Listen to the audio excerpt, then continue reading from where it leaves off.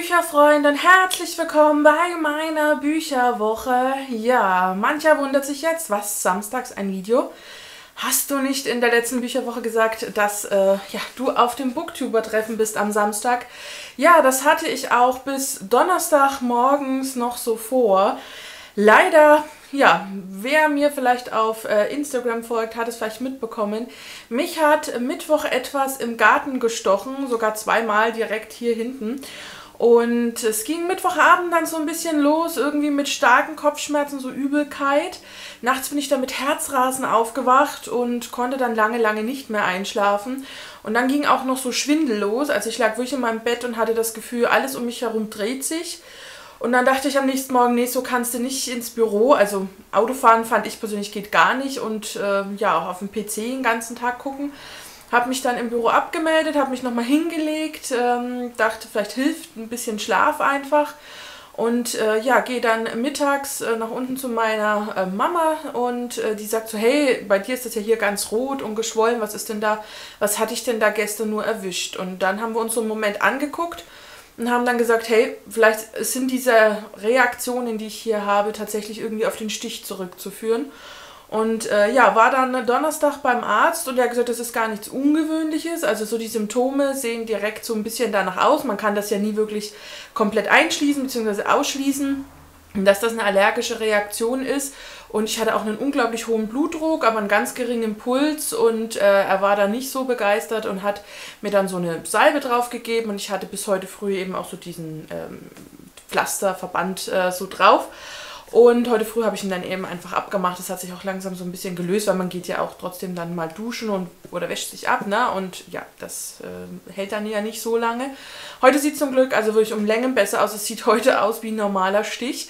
Ja, aber so lag ich Donnerstag dann eigentlich nur flach. Äh, gestern war dann zum Glück die Kopfschmerzen weg. Und äh, ich habe dann halt so mit Übelkeit, äh, Flauigkeit sozusagen zu tun gehabt und ähm, ja, halt der Schwindel. Also der Schwindel war halt wirklich was, was mich unglaublich gestört hat, äh, weil da kann man irgendwie gefühlt gar nichts gegen machen.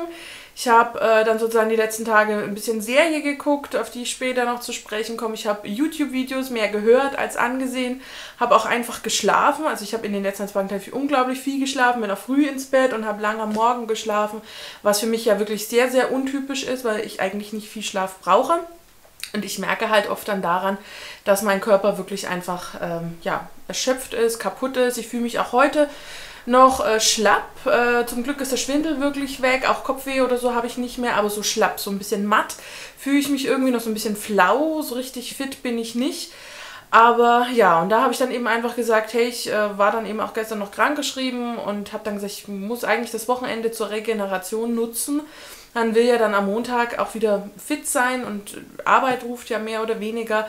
Und habe dann leider das Booktuber-Treffen heute absagen müssen. Es tat mir unglaublich leid und tut mir noch immer leid, weil so viele liebe Menschen da gewesen wären. Und es war ja auch in Nürnberg, was nicht weit von mir ist. Und ich habe auch schon Busverbindungen, äh, Bahnverbindungen, entschuldigt, rausgesucht. Und habe mich richtig geärgert, dass es mir, dass es mich halt am Donnerstag so erwischt hat und es hätte ja auch eine Woche später kommen können oder eine Woche früher oder das kommt halt immer, wann man es nicht braucht. Auch private Dinge musste ich dann absagen für, für gestern und auch für heute Abend hätte ich noch was vorgehabt und morgen Vormittag und das habe ich auch alles abgesagt und gesagt, ich möchte wirklich eigentlich nur rumliegen und mich entspannen. Und man merkt einfach, wenn man zwei Tage ähm, so kaputt ist, dass es auch dann heute sozusagen der dritte Tag, dass man einfach nur nicht wieder 100% man selbst ist, sondern alles so ein bisschen langsamer geht und man einfach ein bisschen gemächlicher unterwegs ist. Und ja, so leid es mir echt tut, ich hoffe, die äh, Booktuber in Nürnberg haben heute einen schönen Tag. Ich finde es echt schade, dass das nicht geklappt hat. Ich war ja auch beim letzten nicht dabei in München. Jetzt ist ja dann das nächste Wiedersehen eigentlich schon direkt die Buchmesse, dann am so um den 21., 22., 23. Oktober. Und dann hoffe ich, dass es dieses Jahr noch ein Booktuber-Treffen geben wird, so ein bayerisches irgendwo, wo man einen schönen Weihnachtsmarkt vielleicht dann hat, dass man das wieder auf den Dezember legt, wie letztes Jahr, schauen wir mal.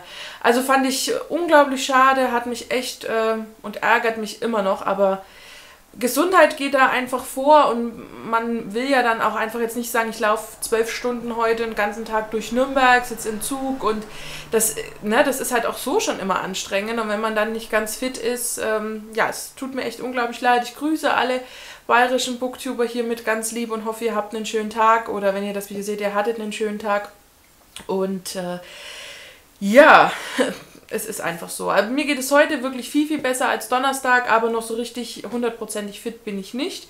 Äh, ich merke einfach, dass ich noch so schlapp bin. Also, ähm, ja, obwohl ich lange geschlafen habe und auch wirklich die letzten zwei Tage nicht viel, eigentlich gar nichts gemacht habe und ähm, ja, aber man ist einfach schlapp. Ähm, da täuscht es auch nicht um weg, wenn ich das versucht habe, mit Make-up ein bisschen auszugleichen, dass ich da ähm, ein bisschen gebräunt auf den Wangen aussehe und ein bisschen Lippenstift drauf habe, wo ich so dachte, du siehst sonst genauso krank aus, wie du dich fühlst und das will ja auch keiner sehen, wenn wir ehrlich sind. Ja, bevor ich mit den Büchern der Woche äh, anfange, gibt es aber noch eine kleine Ankündigung, die ich nicht aufs Ende äh, des Videos schieben wollte, denn morgen Abend, also am äh, Sonntag, den 11. September ab 19 Uhr, gibt es äh, die zweite Folge von Booktube Live auf äh, Phils Kanal. Das ist ja ein Konzept von der lieben Karina und vom lieben Phil. Und ich bin diesmal einer der Gäste bei Booktube Live, also Sonntag, 11. September, 19 Uhr. Ihr findet den Kanal von Phil auf jeden Fall unten in der Infobox. Und äh, ja, wer Lust hat und zuschauen möchte und Zeit hat ab 19 Uhr, der ist da einfach dabei. Ich würde mich freuen äh, wenn ein paar von euch einfach auch mit in den Kommentaren sind und da vielleicht auch Fragen stellen und sich rege an den Diskussionen einfach mit beteiligen. Ich packe das Ankündigungsvideo von Phil auch einfach mal in die Infobox, äh, dass ihr da, wenn ihr es noch nicht kennt, was ähm, Booktube Live ist, äh, dass ihr da einfach so einen kleinen Einblick bekommt und würde mich echt freuen, wenn wir da uns morgen einen schönen Abend machen. Und zum Glück ist das ja nichts groß anstrengendes, kann ich hier von meinem PC aus machen und ähm, ja, dementsprechend wird das auf jeden Fall klappen. Ansonsten war es lesetechnisch eine sehr schöne, eine sehr gute Woche. Ich habe insgesamt vier Bücher gelesen, wovon eins ja schon eher mit 200 Seiten eine etwas längere Kurzgeschichte ist. Und äh, ja, begonnen haben wir habe ich äh, zusammen mit Miriam, daher dass wir, Nachricht von dir von Musso. Es ist unser zweiter Musso gewesen. Wir haben ganz unabhängig voneinander im August ja äh, 24 Stunden von ihm gelesen und haben gesagt, Mensch, dieser Stil hat uns echt angetan. Und ich habe Nachricht von dir ja durch so ein Schnäppchen bei Thalia als E-Book entdeckt und auch äh, Miriam hatte das auf dem Sub. Und da haben wir kurz angesagt, das lesen wir zusammen und haben das wirklich so in zwei, drei Rutschen äh, durchgelesen. Als nächstes habe ich äh, Worte für die Ewigkeit von Lucy Ingles gelesen. Das ist ein Jugendbuch, das ganz aktuell, ich glaube jetzt im September oder Ende August herausgekommen ist. Ein Buch, das mich äh, durch Cover äh, ja, den Titel und auch den Klappentext unglaublich angesprochen hatte. Auch das habe ich diese Woche gelesen. Dann ging es eben weiter mit dieser etwas längeren Kurzgeschichte und zwar Die Welt zwischen den Zeilen von Jackie Fellgut. Von Jackie ist ja mein ähm, Sommer-Highlight, ist ja Hashtag Folge deinem Herzen, was ich unglaublich toll fand. Und sie war letzte Woche in einem Hangout zusammen mit Sina und Susi ich versuche dran zu denken, euch das Hangout auch mal in die Infobox zu packen. Und da konnte man ihr eben auch einfach äh, so Autorenfragen stellen und sie hat auch einen tollen Blog. Und äh, ja, ich habe mich dann direkt wieder daran erinnert, dass ich doch da in den Büchern stöbern wollte und habe mir dann direkt äh, zwei E-Books heruntergeladen und habe eins davon jetzt im Grunde schon diese Woche gelesen. Und das letzte Buch habe ich dann zusammen mit der lieben Lisa gelesen und zwar äh, Plötzlich Benji von äh, Nina McKay, einer deutschen Autorin und hier hatte mich ja damals durch das Cover total angesprochen, die Idee mit der Todesfee. Und äh, ja, dann hat auch noch Sabrina so geschwärmt, sodass wir, als es bei mir ankam, ich dann auch einfach Lisa gefragt habe, hey, äh, du hast es doch auch, wollen wir zusammen lesen? Und wir es uns dann eigentlich in vier Teile geteilt haben, aber es am dritten Tag dann eigentlich beendet haben, weil wir gesagt haben, Mensch, mittendrin können wir jetzt nicht aufhören, wir müssen wissen, wie es weitergeht. Und auch hier war dann der Austausch wieder schön. Ja, und dadurch, dass ich dann einfach krank war und ein bisschen mehr lesen konnte, haben wir es dann äh, gestern äh, beendet. Ein sehr schönes Cover, wie ich finde. Und ich denke, wir fangen jetzt einfach mal mit äh, dem ersten Buch äh, dieser Woche an. Und zwar Nachricht von dir, von Musso. Und nein, ich weigere mich, den Vornamen auszusprechen, weil ich einfach glaube, dass ich sowieso falsch machen würde. Das Buch ist 2013 erschienen. Das Taschenbuch kostet 9,99. Ich habe jetzt, glaube ich, das E-Book für 2,99 ergattert bei so einer Thalia-Aktion.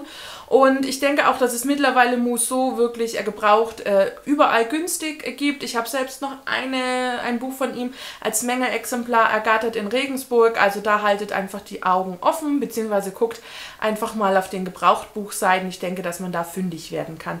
Das Buch hat 480 Seiten und ich habe es zusammen mit der Miriam vom Kanal MJ Liest gelesen. Ihren Kanal natürlich auch unten in der Infobox und wir haben uns auch hier wieder wunderbar ausgetauscht und ähm, tatsächlich auch immer ein bisschen mehr gelesen, als wir uns eigentlich vorgenommen haben. Und das ist ja eigentlich immer ein gutes Zeichen. Um was geht es in Nachricht von dir?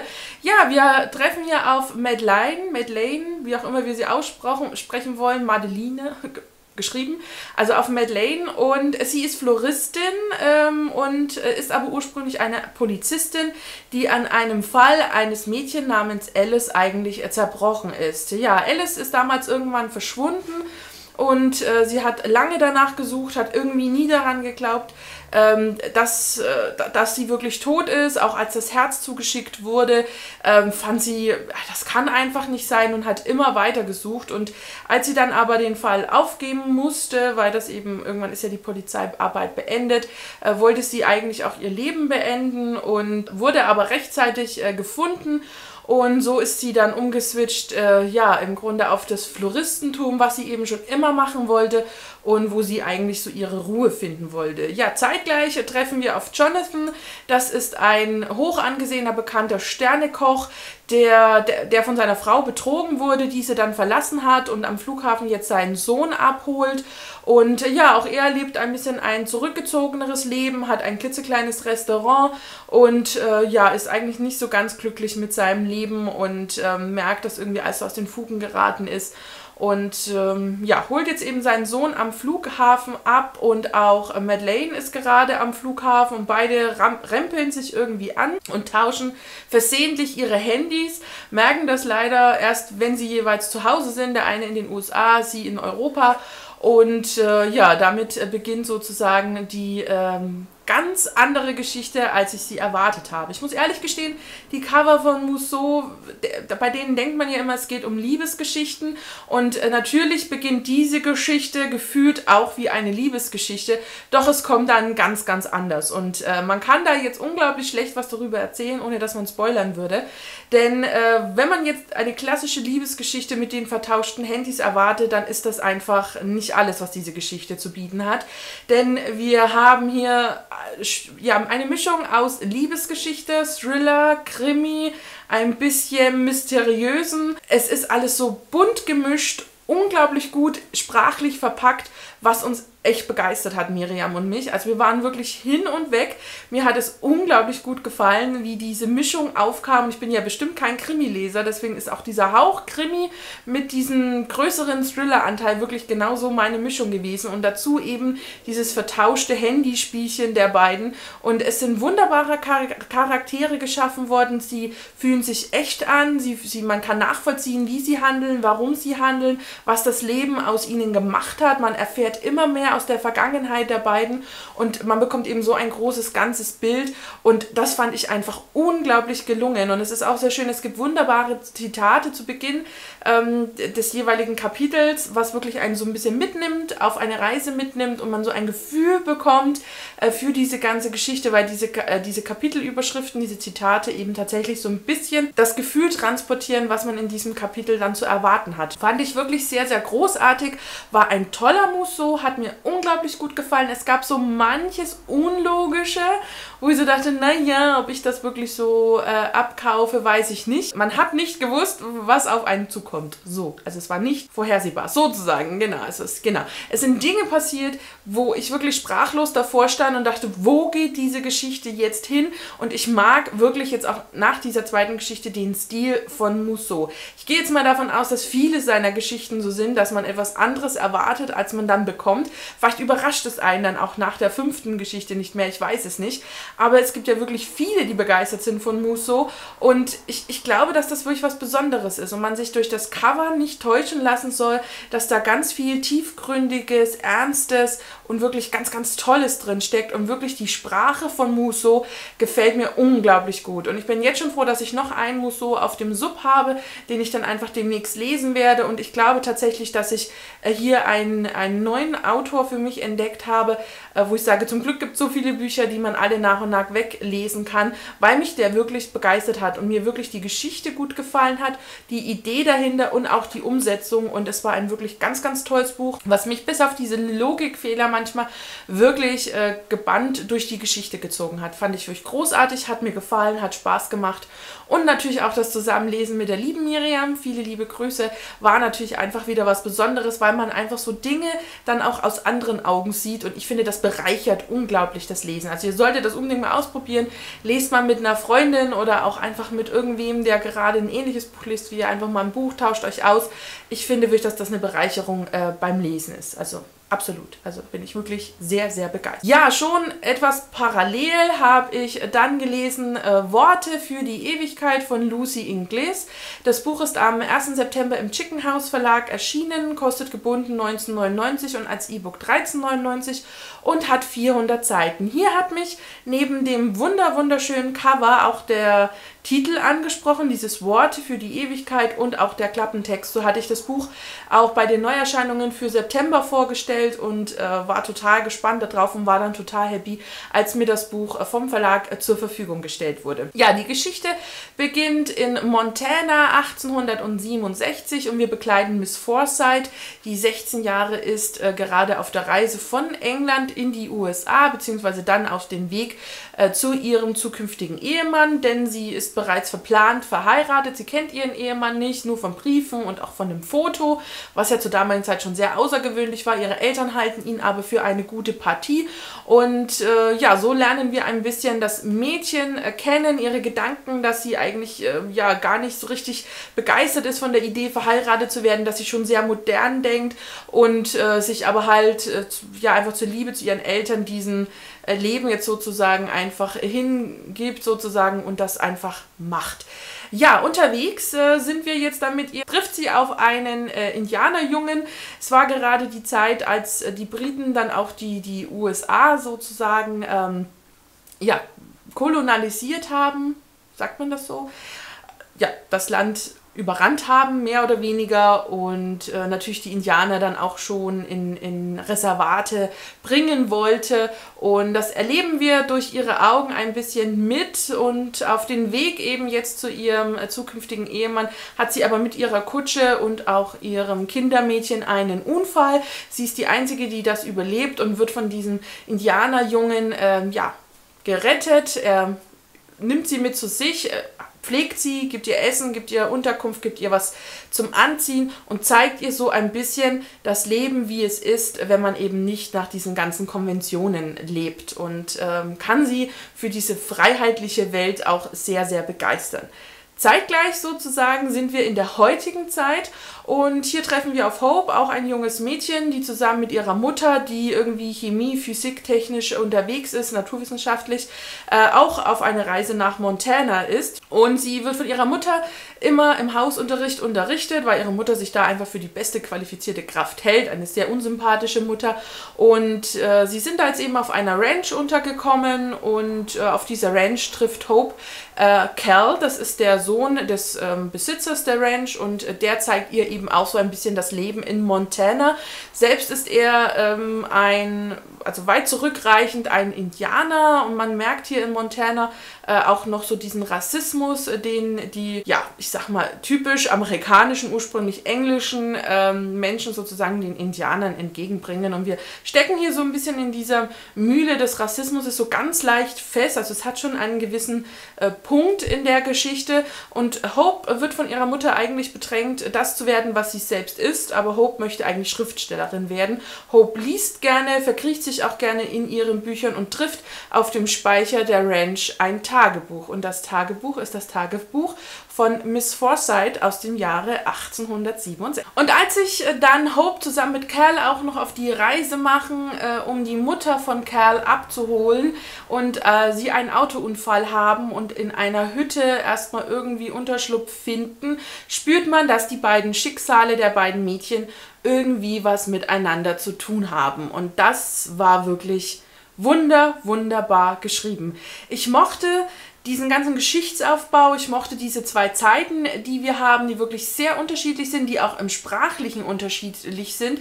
Man spürt also sprachlich tatsächlich, jetzt bin ich 1800 und ein paar 60 und jetzt bin ich in der Gegenwart. Ich finde es toll, wie das die Autorin gemacht hat, dass man eben das Gefühl hat, man wird tatsächlich in der Vergangenheit zurückgeworfen. Man hat hier das Gefühl eigentlich, dass es zwei Autoren sind, die schreiben. So brillant hat sie das wirklich gemacht, dass man sich immer sofort in der Zeit gefühlt hat, in der man ist. Nicht nur, dass man wusste, wo man ist, sondern eben auch, dass es sich so angefühlt hat. Das fand ich großartig. Ich mochte die Verwicklung der beiden Schicksale. Ich mochte beide Mädels unglaublich gerne. Ich fand sie wirklich stark und tough und mutig und auch die Entscheidungen, die ihnen ja eigentlich auferlegt werden, die sie aber einfach annehmen und äh, sie dann zu ihrer eigenen machen, fand ich wirklich ganz, ganz toll. Ich mochte diesen, diese Idee, dass man sich eben nicht nur irgendeinem Schicksal ergibt, sondern eben auch sein Schicksal daraus macht. Sehr, sehr gerne. Ich mochte dieses ganze Feeling, ich mochte dieses Montana, ich mochte diese Idee mit den Indianern, dass man da Infos bekommen hat, wie das eben damals abgelaufen ist und wie auch heute noch man im Grunde als Indianer-Nachkomme sozusagen leidet. Und ich kann mir das wirklich tatsächlich gut vorstellen in den USA, dass es da nicht sehr einfach ist. Und ich fand diese Mischung aus all diesen Themen wirklich großartig gemacht. Es war nicht überladen, es war eine sehr luftige Geschichte, trotz des Ernstes der Themen. Und das war wirklich, was es so besonders gemacht hat. Man ist so durch die Seiten geflogen, man hat diese Geschichten auf sich genommen, in sich eingesogen und man war wirklich so im Bann. Und es passieren auch sehr emotionale Dinge, die einen tatsächlich dann auch ein Tränchen, mir zumindest, ein Tränchen herausdrücken und man sich so denkt, boah, das ist echt großes Bücherkino gewesen, hat mir sehr, sehr gut gefallen. Es war mir manchmal mal ein bisschen zu, zu klar, was passiert. Also es war ab einem gewissen Punkt dann schon fast, dass man eben das Ende irgendwie gedacht hat, das könnte in diese Richtung gehen. Und es war deswegen nicht langweilig oder man hat deswegen auch nicht weniger begeistert gelesen, aber ich mag halt auch gerne ein bisschen überrascht werden. Und ähm, ja, man spürt halt hier definitiv schon, dass man, wo, wo, wo die Geschichte hin sollte, was die Geschichte am Ende aussagen soll. Und das finde ich toll, großartig wie gesagt, ein bisschen Überraschung hätte mir auch noch ganz äh, gut gefallen. Ich fand es wirklich toll. Ich kann das Buch wirklich empfehlen, gerade wer gerne mal so Zeitsprünge in Geschichten macht, äh, der ist hier auf jeden Fall äh, richtig, denn ich finde auch wirklich, dass die Zeit um 1860 sehr, sehr gut dargestellt wurde und uns gezeigt wurde und rübergebracht wurde und das einfach wirklich Spaß gemacht hat. Also das Buch war wirklich toll, hat mir gut, gut gefallen und ähm, ja, kann ich absolut empfehlen. Und ich mochte einfach diese Zeitsprünge. Und ich bin ja jemand, der gerne Zeitreisen äh, liest. Und es muss nicht immer der Protagonist einer Geschichte Zeitreisen, sondern es reicht auch schon manchmal, wenn ich Zeitreise. Und das war in der Geschichte so. Und das war wirklich sehr, sehr schön gemacht. Also auch sehr bildhaft und man konnte sich das gut vorstellen. Und ja, also wirklich Begeisterung hat mir wirklich unglaublich gut gefallen. Das nächste Buch ist dann eine etwas längere Kurzgeschichte sozusagen, und zwar Die Welt zwischen den Zeilen von Jackie Fellgut, eine Autorin, die dieses Jahr ein Projekt hat, zwölf Bücher in zwölf Monaten. Denn äh, soweit ich das in ihrem Blog, ich verlinke den Blog auf jeden Fall auch mal in der Infobox, verstanden habe, hatte sie immer Bücher angefangen und nie zu Ende gebracht. Und dieses Projekt sollte ihr jetzt im Grunde dazu dienen, auch einfach mal ihre Geschichten zu beenden und dann eben mit einem Mal auch äh, zwölf Geschichten beendet zu haben, die sie jeden Monat Monat äh, veröffentlicht und ähm, dann im Grunde wirklich so zwölf Bücher hat, wo sich jeder ähm, irgendetwas für sich herausziehen kann und eben auch damit zu zeigen, man kann Geschichten beenden. Sie hat eben auch so eine Seite Schriftsteller werden, die ich sehr spannend fand, wo ich diese Woche schon ein bisschen rumgesurft bin und auch ich habe ja zwei Buchentwürfe irgendwie auf dem PC liegen, wo ich mir denke, Mensch, vielleicht solltest du dich wirklich einfach mal dran setzen und es zu Ende bringen. Ja, aber nun zu, zu, zur Geschichte Die Welt zwischen den Zeilen ist dieses Jahr im Februar erschienen, hat 210 Seiten und kostet als E-Book 2,99 und als Taschenbuch 9,99 Und ja, ich habe es mir direkt geholt nach dem Hangout bei Susi zusammen mit Sina. Ähm, ich fand Jackie schon im E-Mail-Kontakt unglaublich sympathisch. Ich mochte Hashtag Folge deinem Herzen, was ja wirklich so ein Highlight in meinem Sommer war und dachte mir, Mensch, wie konntest du die Autorin schon wieder so halb vergessen haben? Und schwupps habe ich mir zwei Bücher auf den Sub geholt und das eben zuallererst gelesen. Ja, es ist ähm, sozusagen eben dann mein zweites Buch der Autorin und ähm, ja, war ich sehr gespannt, was mich in dieser Geschichte erwartet. Ja, wir sind hier bei Isa und Isa ist eine junge Frau, die in einer Beziehung lebt und die sich aber gerne mal in Bücher zurückzieht. Nur macht das Isa nicht so wie wir klassischen Leser, sondern Isa kann tatsächlich in die Geschichte eintauchen. Es gibt Stellen im Buch äh, zwischen den Zeilen sozusagen, wo sie eintauchen kann und dann eben auch die Charaktere sozusagen beobachten kann und ein bisschen in der Geschichte dabei ist. Denn Charaktere in den Büchern leben tatsächlich neben dem, was wir von ihnen lesen, noch ein anderes Leben. Und das äh, sieht Isa und kann eben in diesen Geschichten eintauchen eintauchen. Und sie liest äh, aktuell als eines ihrer Lieblingsmärchen Aschenputtel und zieht sich auch in diese Welt etwas zurück und verliebt sich dort in den Prinzen von Aschenputtel und weiß eigentlich, dass es keine Zukunft gibt, denn wir wissen ja alle, wie Aschenputtel endet und so weiß sie es auch. Und äh, ja, sie ist dann eben ein bisschen hin und her äh, gerissen, weil ihr ihre Beziehung gerade nicht so toll läuft, ihr Leben außerhalb der Bücher nicht so der Brecher sind. Bringer sind, nicht Brecher, der Bringer sind. Und meine Güte. Ähm, ja, auf jeden Fall äh, spricht sie auch mit ihrer Mutter über ihr Phänomen und ihre Mutter kennt das, denn alle äh, weiblichen Nachfahren sozusagen konnten in diese Bücher springen. Auch ihre Oma, also Isas Oma, die sich komplett in den Geschichten verloren hat. Ihre Mutter hat es irgendwann aufgegeben zur Liebe zu ihrem Mann und auch eben zu ihrer Tochter wegen und äh, rät ihr eben auch einfach davon ab, sich in diesen Welten zu verlieben oder auch gar zu verlieren und äh, dass sie eben das Leben draußen genießen soll, draußen genießen muss. Und ihre Mutter hat tatsächlich ein bisschen Angst um Isa. Ja, Isa verbringt aber wunderbar wunderbare Stunden im Aschenputtel und lässt uns auf dieser Reise sozusagen teilhaben. Es war eine wunderbare Idee, die Jackie äh, Fellgut hier aufgenommen hat. Es hat mir unglaublichen Spaß gemacht, mit Isa in Aschenputtel einzutauchen.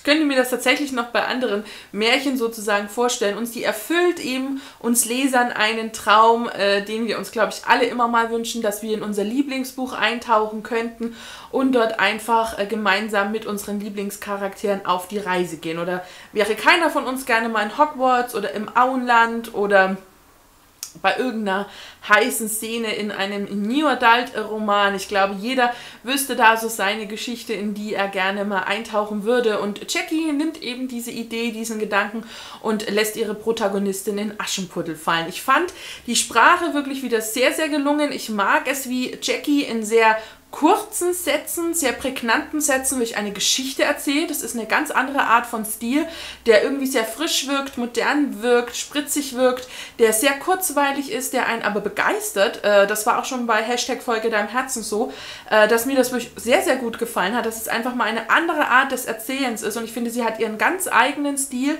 und der mir wirklich gut gefällt. Ich bin da wirklich mit äh, Begeisterung in dieser Geschichte und diese 200 Seiten haben sich wirklich im Nu weglesen lassen, so in zwei Rutschen äh, war ich da durch, weil ich einfach wissen wollte, wie geht es mit Isa weiter, was hat es da mit diesem Aschenputtel zu tun, tauchen wir noch in eine andere Geschichte ein, was macht der Prinz tatsächlich, wenn die Prinzessin nicht hinsieht und ich das wirklich sehr, sehr interessant, aufregend fand, es hatte wunderbare Momente, es hatte sehr viel Weisheit auch wieder, ich habe auch ein wunderbares Zitat herausgesucht, aber es ist niemals eine gute Idee, die Umstände, das eigene Schicksal bestimmen zu lassen. Mit viel Fleiß und harter Arbeit lässt sich einiges bewegen. Was aber am Ende dabei herauskommt, hängt allein davon ab, ob man auch angefangen hat. Und das ist es wirklich, was ich äh, fand ich ganz, ganz toll. Also ich bin ja auch jemand, der sagt, nur der Anfang trennt uns vom Ende und äh, das finde ich auch, hat einfach perfekt sozusagen zu meiner Einstellung gepasst, dass man eben einfach angefangen haben muss und sich nicht in einem Jahr denkt, ach, hätte ich doch da angefangen, sondern es einfach gemacht hat. Und hat mich unglaublich inspiriert, einfach selbst vielleicht an meinen Buchentwürfen mal zu arbeiten und weiterzumachen und sie vielleicht wirklich fertig zu bringen. Und auch wenn es nicht der Weltbestseller wird, aber einfach zu wissen, man kann etwas zu Ende bringen, ist, glaube ich, schon ein sehr schönes schönes Gefühl, ein sehr angenehmes Gefühl. Und ich merke hier einfach auch bei Jackie Fago, dass sie eben genauso ihre Gedanken, die man jetzt auch so ein bisschen auf dem Blog lesen konnte, einfach in den Gedanken ihrer Protagonisten hat. Also auch das, was Isa denkt und fühlt, äh, tatsächlich so ein bisschen das ist, was wir alle eben fühlen und äh, uns eben manchmal etwas wünschen, was unerreichbar scheint, aber es vielleicht doch am Ende irgendwie möglich ist. Und das hat mir an der Geschichte wirklich sehr, sehr gut gefallen. Es kommt nicht ganz an Hashtag-Folge Dein Herzen heran, einfach weil das wirklich so von der Sommerstimmung ein ganz, ganz gelungenes Buch war. Äh, aber ich fand es wirklich schön. Es war eine bezaubernde, märchenhafte Geschichte und mir hat dieses Eintauchen in Aschenputtel einfach auch gut gefallen, hat Spaß gemacht. Ich hatte Lesefreude und ähm, ja, fand ich sprachlich wirklich auch ganz, ganz toll. Freue mich jetzt auf das nächste Buch, was ich noch von ihr habe und ich glaube, dass es auch nach diesen drei Büchern äh, nicht die letzten Bücher sein werden, die ich von ihr lese, denn es folgen ja noch ein paar Monate in ihrem Projekt und ähm, da bin ich sehr gespannt, äh, wie was da noch kommt und wie sie uns weiter daran teilhaben lässt. Deswegen auch mal ihr Blog in der Infobox, den ich wirklich unglaublich spannend und interessant finde. Und gerade wenn man vielleicht selbst mit dem Gedanken spielt, mal ein Buch zu veröffentlichen und äh, noch nicht so recht weiß, ist man da auf jeden Fall auch mal, äh, denke ich, gut bedient, wenn man sich ein bisschen durch diese Blog-Einträge liest. So, das letzte Buch äh, ist dann dieses wunderschöne Büchlein Plötzlich Banshee von Nina McKay. Kostet als E-Book 12,99 und als broschierte Aufgabe, Ausgabe, wie ich es habe, 15 Euro. Ist am 1. September im Iwi Verlag erschienen, wurde mir auch von diesem zur Verfügung gestellt und hat in dieser broschierten Ausgabe 400 Seiten und ist am 1. September erschienen. Und es ist wirklich wunder, wunderschön broschiert. Also hier haben wir diesen wunderschönen Vogel, den wir bereits auch äh, vom äh, Titel kennen. Und auch hinten drin haben wir, ups, haben wir diesen Totenkopf, den wir ebenfalls, ich hoffe, ihr könnt es ein bisschen erkennen, es ist ein bisschen blassrosa.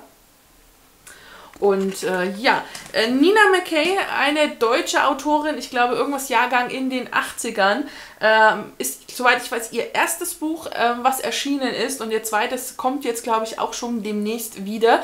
Man muss hier ganz vorneweg schon mal sagen, es ist ein Einzelband, was ich absolut gut finde, gelungen finde und mich freue, dass es mal äh, nicht in irgendeiner Reihe steht.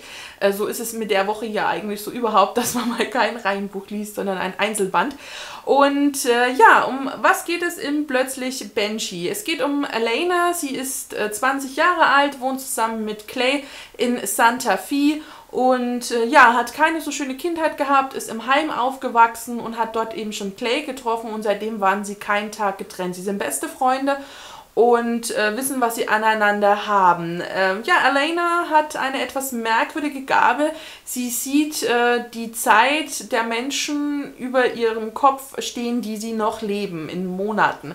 Und ähm, ja, immer wenn jemand kurz davor ist äh, zu sterben, lässt sie einen Schrei los, äh, den alle Umstehenden hören, aber nicht der oder die, die da jetzt eben gerade kurz vor dem Sterben ist. Sie versucht als Detektivin äh, ja, Leben zu retten, äh, ins, ihren Leben, ja auch finde ich persönlich, einen Sinn zu geben. Und wir erfahren recht schnell durch Clay, dass... Ähm, Elena eine Todesfee ist, nämlich eine irische und somit eine Banshee. Und äh, ja, Banshees haben auch noch den großen Nachteil, dass sie bis zu ihrem 21. Geburtstag, bis sie also volljährig sind und eine erwachsene Banshee dann sind, eben auch noch Unglück anziehen und ihnen wirklich total doofes Dinge passieren.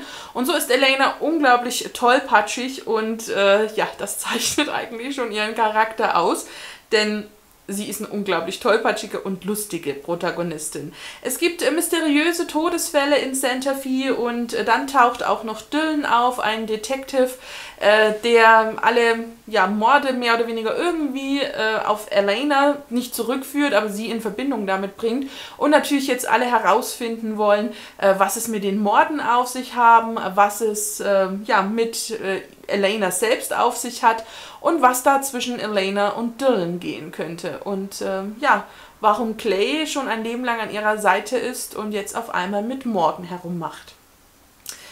Ja, wir haben hier eine mit der fange ich einfach an. Eine unglaublich tolle Protagonistin. Ich mochte Elena von den ersten Seiten an. Ich mochte ihre Tollpatschigkeit, ihren Sarkasmus, ihren teilweise sehr, sehr schwarzen und trockenen Humor. Ich war da absolut dabei. Ich hatte viele Lacher. Ich habe mich unglaublich über ihre Gedanken ähm, ja, amüsiert. Ich mochte es, wie sie uns rübergebracht wurde, wie die Autorin äh, sie wirklich geschaffen hat. Und ich, ich mochte einfach ihren Humor. Ich fand diesen ganzen Humor im kompletten Buch wirklich super toll. Also es sind dann auch Dinge einfach so ausgesprochen worden, die eigentlich so selbstverständlich sind und es gibt total blöde Antworten. Also so, na so, wenn jemand eine blöde Frage stellt, bekommt er eine blöde Antwort, so heißt es ja im Sprichwort und das haben wir hier drin. Ich fand es lustig von den ersten Seiten an. Ich habe mich äh, mit dieser äh, wunderbaren Mythologie, die ins Keltische zurückgeht, zumindest was die Banshees und so angeht, äh, wirklich sofort zu Hause gefühlt. Ich habe genug Infos hierin bezogen, um zu wissen, was es mit Feen, Elfen, Dunkelelfen irgendwie zu tun hat, eben auch mit Banshee und was es noch anderes für magische Wesen um uns herum gibt. Und ich habe tatsächlich dann auch ein bisschen gegoogelt, wo das alles herkommt, wie das alles zusammen zusammenhängt und es hat unglaublichen Spaß gemacht, dann einfach die Geschichte mit diesem etwas mehr Wissen äh, sozusagen zu lesen. Man muss es aber nicht lesen, sondern kann es lesen. Ich habe es ja zusammen mit der lieben Lisa von Ex Libris Lisa, ganz liebe Grüße, gelesen, ihr Kanal natürlich in der Infobox und wir haben uns das Buch eigentlich so für 100 Seiten am Tag eingeteilt.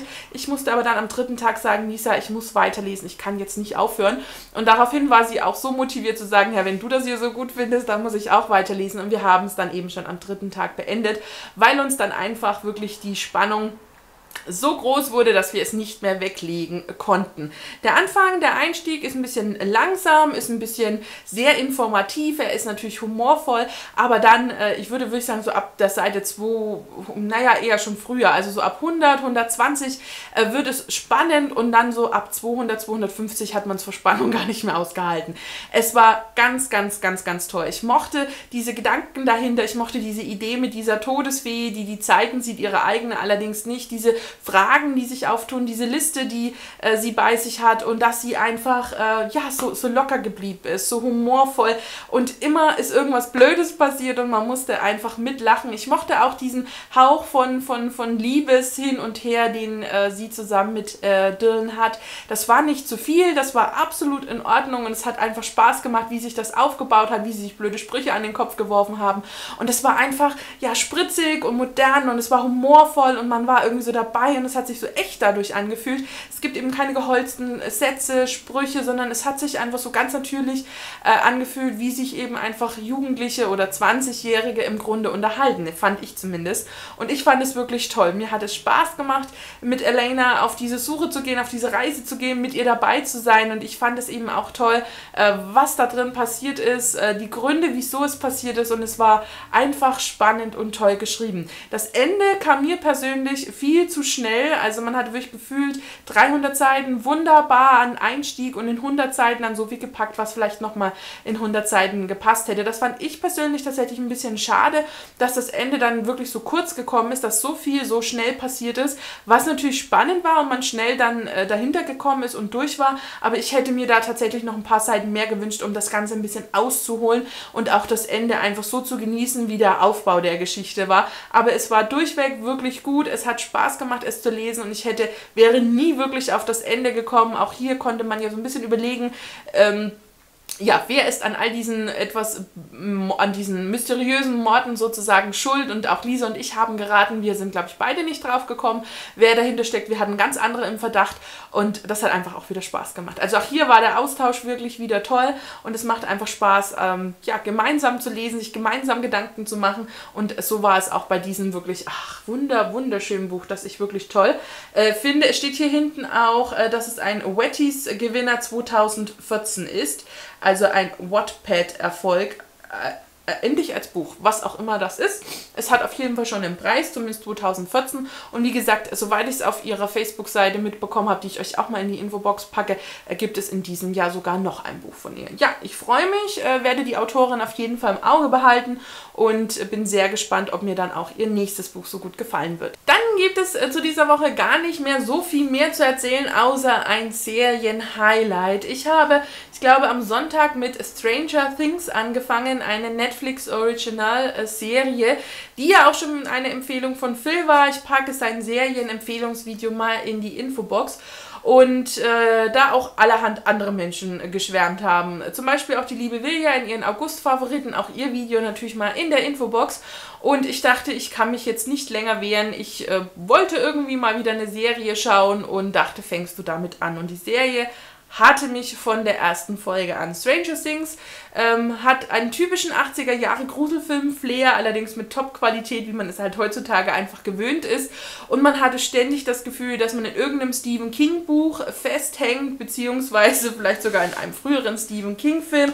Wir haben hier vier gute Freunde, die ein bisschen an die Gruppe von S erinnert, an diese Kinder.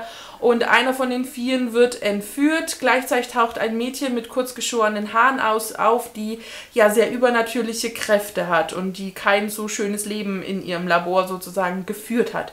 Und es passiert allerhand in diesem kleinen Dörflein und es ist unglaublich spannend. Es hat Gruselmomente, es hat echte Spannungsmomente, wo man so davor sitzt und sich denkt, oh Gott, oh Gott, oh Gott, man sich manchmal nicht mehr aus seinem Haus traut, morgens um zum Auto zu laufen und sich denkt, okay, ganz schnell, macht das Auto möglichst bald auf und ich dann mich tatsächlich auch innen eingesperrt habe. Ja, ich gestehe es. Auch mit 33 gruselt man sich tatsächlich noch vor Gruselfilmen. Ich fand äh, nicht nur, dass die, die, die erste Staffel, es waren jetzt glaube ich acht Folgen, äh, schon auch abgeschlossen in sich ist. Es wird eine zweite Staffel geben, aber man hat auf jeden Fall irgendwie ein Ende in der Geschichte, möchte ich jetzt mal sagen, was sich auch wirklich gut angefühlt hat. Also es hätte damit jetzt auch enden können. Ich bin aber froh, dass es eine zweite Staffel gibt. Es war wirklich eine Geschichte, die einen einsaugt, die einen mitnimmt. Und ich mochte wirklich dieses typische 80er Jahre Flair, äh, weil ich, ähm, ja, meine, also ich bin ein 83er Kind und meine ersten Gruselfilme waren natürlich Gruselfilme, die meine Eltern toll fanden, beziehungsweise meine Mama gut fand. Die hat sich auch schon immer gerne gegruselt äh, und Stephen King gelesen. Und dementsprechend war auch einer meiner ersten Gruselfilme S, äh, nach äh, Friedhof oder vor Friedhof der Kuscheltiere. Und ähm, ja, ich habe auch S, also war auch, glaube ich, so mein, mein, mein erster oder mein zweiter Stephen King, könnte mein erster gewesen sein, den ich glaube mit 13 oder so gelesen habe unter Aufsicht. Ähm, ob das jetzt pädagogisch wertvoll ist oder nicht, sei es mal dahingestellt. Ich fand es cool und ich habe es gerne gelesen und ich hatte auch nie wirkliche Angst beim Lesen, weil ich wirklich immer auch mit meiner Mama einfach darüber reden konnte und ja, dadurch natürlich die starke Mama auf mich aufgepasst hat in den Büchern und äh, ja, es war einfach großartig und mich hat das einfach alles so erinnert.